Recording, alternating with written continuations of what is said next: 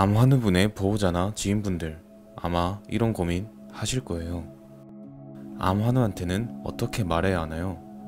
어떻게 말해야 암 환우가 상처받지 않게 위로를 전할 수 있을까요?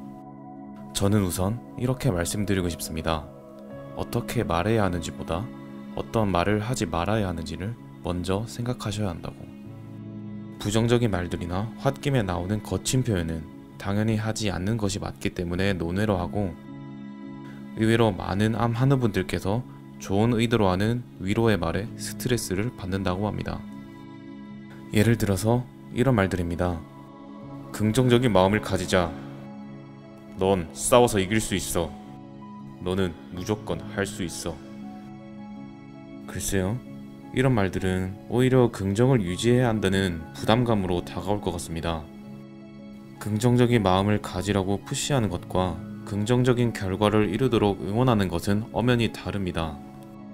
잘못된 동료는 오히려 긍정적인 태도를 가지지 못하는 암 환우분께서 스스로를 비난하고 작아지게 만들 수 있어요. 일기라서 다행이야. 그래도 착한 암이라서 다행이다. 반드시 피해야 할 위로 1위입니다. 세상에 착한 암, 쉬운 암은 없어요. 나한테는 세상이 바뀔 정도로 큰 사건인데 그 정도쯤은 아무것도 아니라고 말하는 거예요. 연기나 일기암도 정말 위협적입니다. 수술이나 항암 치료를 피할 수 없는 것은 물론이고요.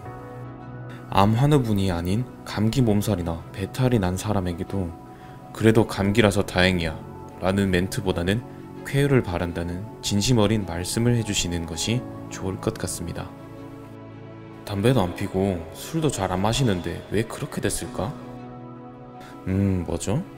마치 너는 죄를 짓지도 않고 착하게 살았는데 왜 벌을 받았니? 라는 뉘앙스로 다가옵니다. 암의 발생 기전은 너무 많아서 의료진조차 확실히 단정 짓기 어렵습니다. 담배와 술이 암 발병의 트리거가 아닐 수도 있어요. 그러니 이미 지나가 버린 과거를 언급하기보다는 지금 현재와 가까운 미래에 대한 이야기를 하는 것이 어떨까 합니다. 내 주변에 누구누구는 더 심했었어. 비교하는 화법은 삼가시는 것이 좋을 것 같아요.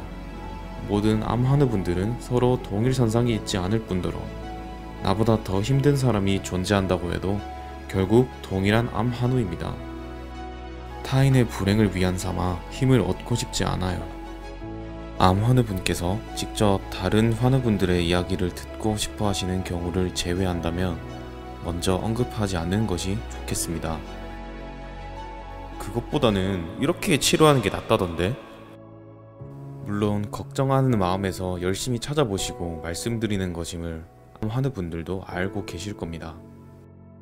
하지만 대부분의 암 환우분들은 자신이 걸린 병에 대한 지식 수준이 상당히 높습니다. 스스로 처한 상황을 객관적으로 받아들이고 극복하기 위해 열심히 공부하기 때문이에요.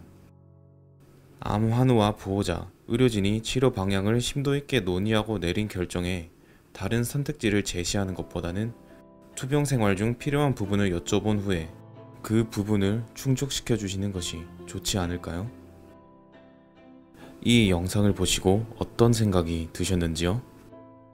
지금까지 했던 말들을 곱씹으며 그때 왜 그랬을까? 이럴 수도 있겠구나 라며 스스로를 성찰하셨거나 이걸 보고 나니 무슨 말을 해야 할지 더 모르겠다 라는 생각에 조금은 답답하셨을 거라고 생각합니다. 암 환우를 대하는 것이 쉬운 일은 아닙니다. 삶의 가장 큰 고비를 이겨내는 치열하고 숨막히는 시간들 속에서 암 환우 분들은 작은 자극에 쉽게 상처받게 되고 사소한 진심에 큰 감동을 느끼게 됩니다.